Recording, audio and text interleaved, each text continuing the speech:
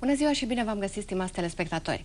Suntem în anotimpul în care încep durerile reumatismale. Frigul și umezeala, variațiile meteorologice sunt factori ce ne creează cele mai mari probleme. Mai bine de un sfert din populația țării suferă de boala artrozică.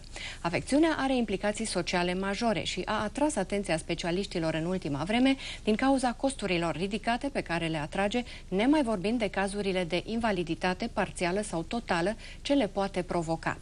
Afectarea artrozică a genunchilor poartă numele de gonartroză și este una din localizările foarte frecvente ale reumatismului. Boala este evidentă în special la bătrâni, la obezi, dar și la tinerii care fac în mod regulat efort mare, în special la unii sportivi de performanță. Gonartroza evoluează progresiv de la stadiul de durere ușoară de genunchi până la durere insuportabilă cu limitarea mișcărilor. Ce se poate face pentru a diagnostica și trata boala încă din fazele incipiente vom afla astăzi de la invitatul invitatul nostru. Este vorba de medicul Petre Mureșan, atestat în homeopatie și ultrasonografie generală. Bună ziua și bine ați venit! Bună ziua, bine v-am găsit! Pentru a avea o bază a discuțiilor noastre, vă invit și pe dumneavoastră și pe telespectatorii noștri să urmărim împreună un scurt comentariu pe această temă.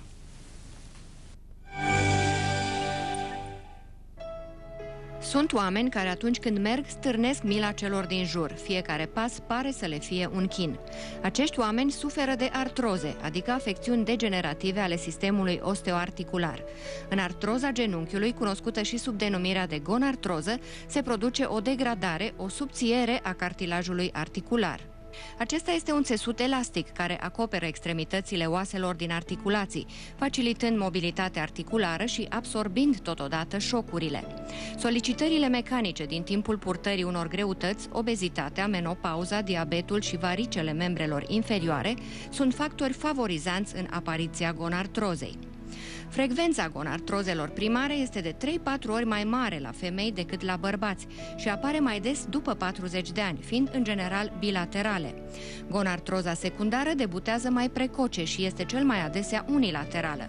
Cauzele cele mai frecvente fiind anumite fracturi, luxații, entorse, leziuni de menisc, dezaxarea axei femurotibiale, tulburări endocrine și metabolice. Medicina modernă folosește mai multe metode de diagnostic al afecțiunilor de la nivelul genunchiului. Examinarea fizică, radiografia, computer, tomografia, rezonanța magnetică, artroscopia sau ultrasonografia. În ultimul timp se folosește cu succes și scanarea termografică. Pentru ameliorarea simptomelor gonartrozei trebuie în primul rând eliminați factorii favorizanți, cum ar fi kilogramele în plus sau îndepărtarea varicelor.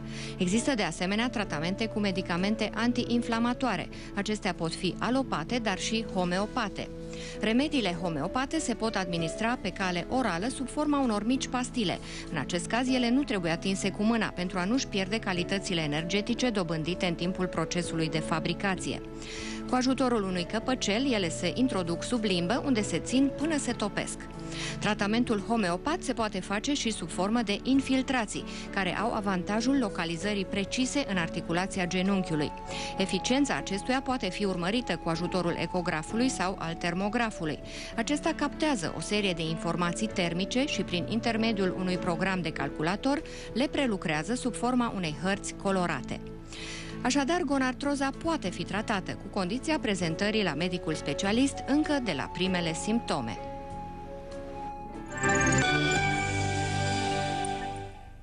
Vorbim astăzi, domnule doctor, despre îmbolnăviri ale articulațiilor genunchilor. Această articulație care funcționează ca o balama, putem să spunem, ea permițând flexia și extensia piciorului. Ce se strică la această balama când apare gonartroza? La această balama, cum ați numit-o, când apare gonartroza, în primul și în primul rând este afectat cartilajul articular, cartilajul hialin. Pentru ca să înțelegem un pic, în câteva cuvinte, eh, ce se întâmplă, aș vrea să explic cam eh, cum este structurat, cam cum este construit acest cartilaj hialin. Cartilajul hialin are în proporție de 95% în structura lui, în constituția lui apă și o matrice cartilaginoasă extracelulară. Și doar 5% sunt condrocitele, deci celulele propriu-zise care compun acest cartilaj. În funcționarea normală a articulației genunchiului, Atunci când asupra articulației se exercită o presiune, acest cartilaj uh, eliberează apa pe care o conține în spațiul intraarticular. Uh, cu această eliberare, uh, cu ocazia acestei eliberări a lichidului în spațiul intraarticular, se realizează câteva lucruri și anume se creează funcția elastică de amortizare a presiunii care se exercită asupra articulației, dar totodată se realizează și funcția de hrănire a cartilajului. De ce? Uh, de la o anumită vârstă, cartilajul nu se mai hrănește direct, ci doar prin difuziune de la uh, vasele din vecinătate. Există. Și acum înțelegem de ce s-a spus în uh, reportajul uh, prezentat înainte că varicele sunt o cauză a dezvoltării unei artroze, a gonartrozei. De ce? Uh, nemai putându-se realiza această hrănire suficientă și în bune condiții a cartilajului, cartilajul începe să sufere și se produce degradarea lui. Există două tipuri de gonartroze, primare și secundare. Uh, am să vă rog să ne explicați uh, mai întâi ce este gonartroza primară și mai ales care sunt factorii favorizanți ai apariției ei. O gonartroză primară, sau cum îi mai spunem și idiopatică, este acea gonartroză la care nu îi se cunoaște exact cauza. Sigur că un factor uh, favorizant, un factor care intră foarte mult în discuție este factorul ereditar persoana în cauză cel puțin moștenește o predispoziție spre a face artroză, gonartroză. Dar pe acest fond mai vin și alți factori favorizanți, cum ar fi kilogramele în plus, de supraponderea, obezitatea, anumite tulburări metabolice, endocrine, uh, varicele, cum s-a spus. Toți acești factori Uh, favorizează dezvoltarea artrozei, a gonartrozei. Mai sunt și factorii externi, uh, vremea, schimbările de exact vreme, exact temperaturile, uh, schimbările bruște de temperatură sau diferențele mari de temperatură între zi și noapte sau între vară și iarnă, pe un fond de uh, supra-solicitare a articulației genunchiului uh, duc, duc ce duc la uh, dezvoltarea artrozei sau a gonartrozei. Există și persoane tinere care fac uh, gonartroză.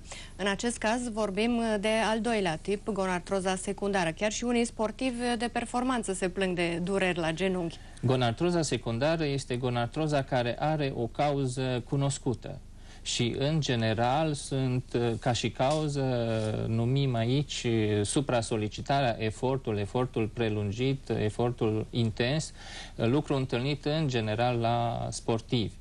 Eu am avut uh, mulți sportivi care au avut probleme de genul acesta, deci au dezvoltat o artroză, o gonartroză secundară, Uh, noroc că au apelat la timp la tratament și s-au putut recupera în condiții foarte bune. Uh, de asemenea, citeam că persoanele cu picioarele în X sau paranteze exact, sunt exact, mai predispuși în a face gonartroză. sau cu piciorul plat.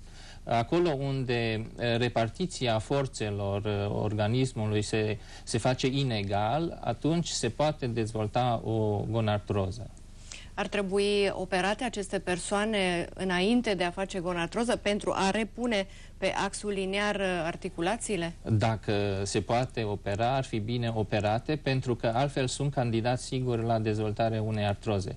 Uh, dacă se operează sau nu, aici hotărăște și medicul ortoped, care apreciază în ce măsură se poate interveni și care sunt uh, avantajele și dezavantajele unei asemenea intervenții chirurgicale.